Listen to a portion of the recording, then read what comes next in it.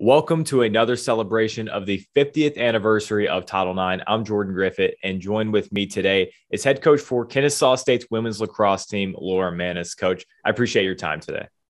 I appreciate it as well. Something I always want to open up with talking about Title IX.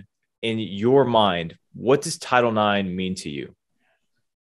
Um, you know, in my world, um, when I think of Title IX, I immediately think of sports, right? And I know um, there's a much broader scope to what Title IX does, but in my corner of the world, it's an opportunity for our female athletes to participate in athletics, um, you know, at a high level. Um, and so that's kind of how how I view it from a day to day standpoint. Um, and um, yeah, I think it's created amazing opportunities for the women I've coached over the years.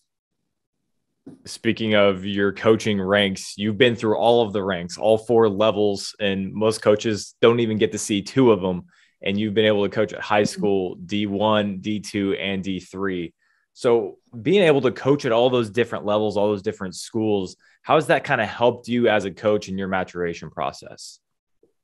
Yeah, I think um, starting the climb from a high school level all the way up to D1 has been um, a good growth experience. I've grown into my position that I have now, um, you know, at, at, a D1 institution. And so for me, I was able to kind of learn along the way um, on a smaller stage. And um, that's been beneficial to me, not only just learning, um, you know, lacrosse specific systems um, and, you know, my approach and philosophies and game and the X's and O's but also just learning and growing as far as um, you know being the team manager essentially and how to manage a roster and team culture and how to kind of bring all those other pieces into the program as well as the X's and, X's and O's um, to make sure that we have a successful um, season every season. And so um,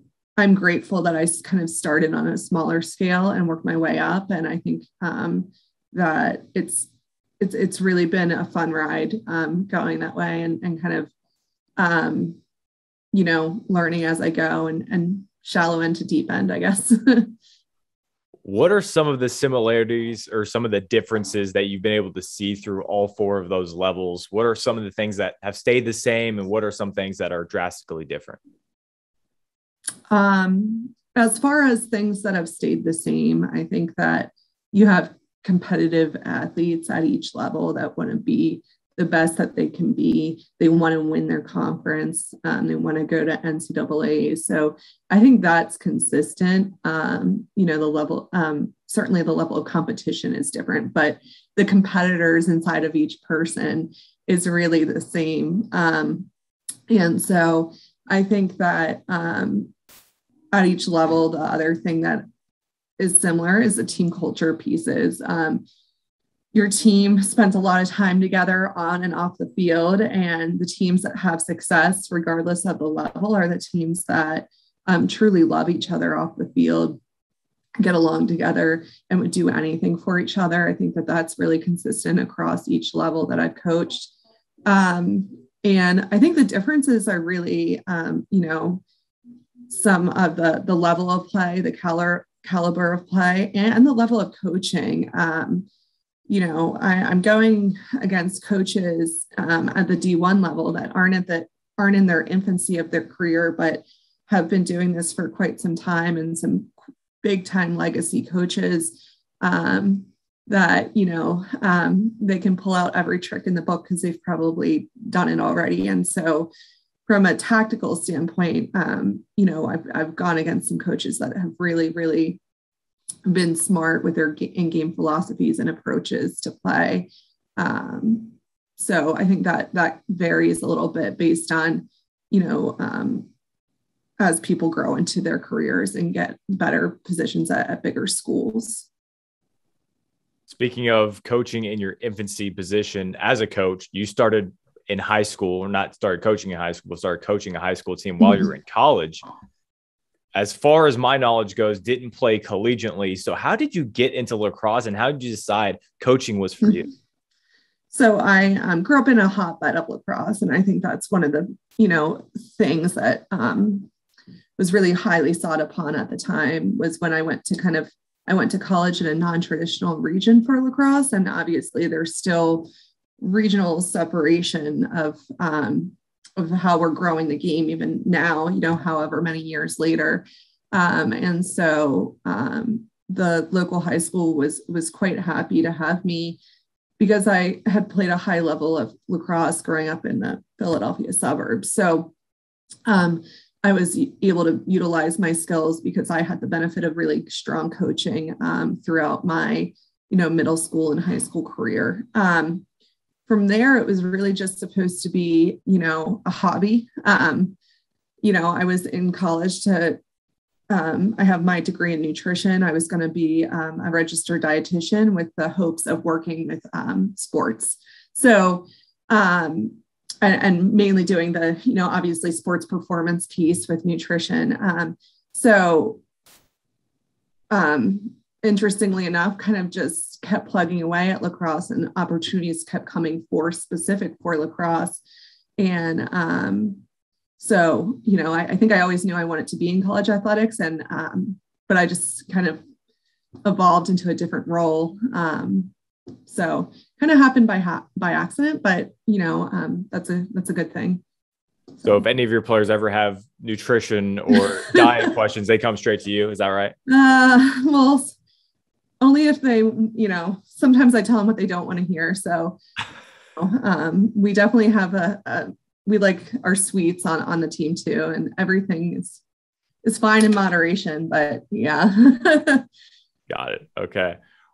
What does a team coached by you look like? What, is the Coach Maness mantra when you get to a program? What is the one thing, or maybe the couple of things that you want to implement into a team? I think hard work. Um, kind of a blue collar mindset, I think has been really the um, backbone of all the teams that I've coached. Um, really, um, a lot of the times we're we're not getting the five star recruit, um, you know, from a tradi- traditional area. I've only worked in non traditional locations.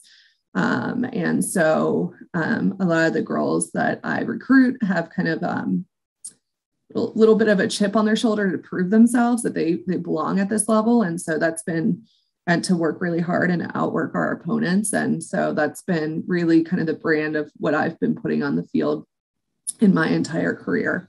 Um, you know, and, and then additionally, we recruit like the total player. So, um, you know, our a lot of our athletes are super highly academic. A lot of our athletes, um, you know, have internships, have jobs, have um, you know, family obligations, um, different different things like that. Um, so I think for for us, we really want um, we really want to recruit someone that's a lacrosse player, but also involved in their community, involved academically, um, involved in the, potentially involved in their church or their religion. And so we have a really broad range of of who we bring in. Um, but you know, really a complete person is what we're looking for, and a very good lacrosse player on top of that. Well, it certainly does help on the field, but talking about being able to groom these athletes that are going to be tremendous people and tremendous workers outside of lacrosse when their days are done, how important do you take that role as a coach to try and groom them to be these tremendous student athletes to send out into the world?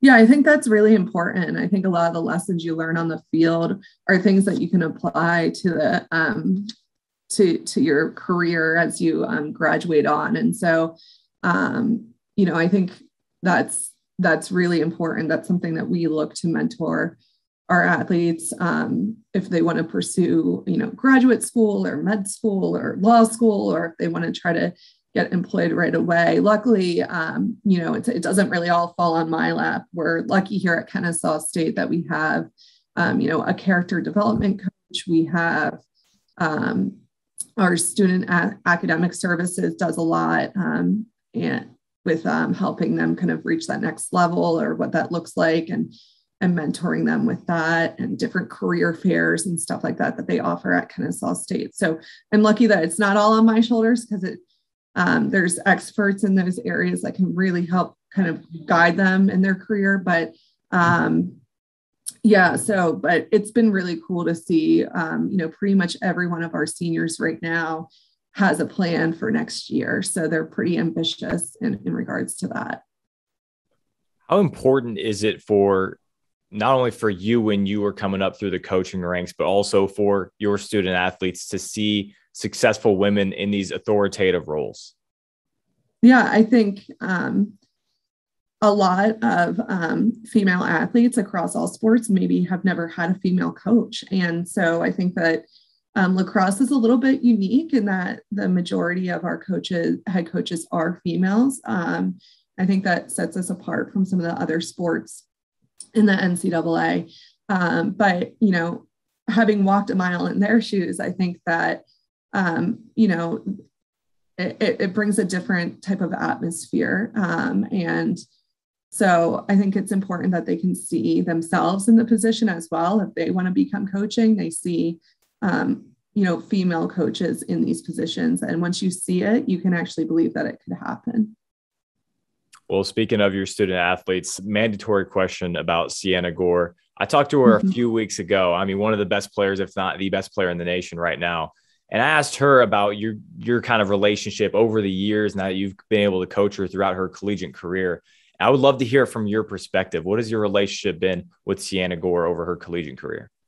Yeah, so um, obviously Sienna's great player, um, works really hard for us and has since the day she set foot on campus. But um, Sienna's like Sienna's a pro level, like her mindset is pro level, and that's really the best way I can describe her. She's been focused and mature since she got on campus, um, both academically and athletically. So um, she's not someone that you know relies on us to push her. She's very self motivated to push herself, and so um, we've really just kind of helped channel what is her natural abilities and her drive and her work ethic um, in a productive way. I think, um, you know, I think she'd be successful in whatever path she chose because of how she works. And we're just really channeling that that energy and and um, helping guide her is really what our role is as coaches. Um, so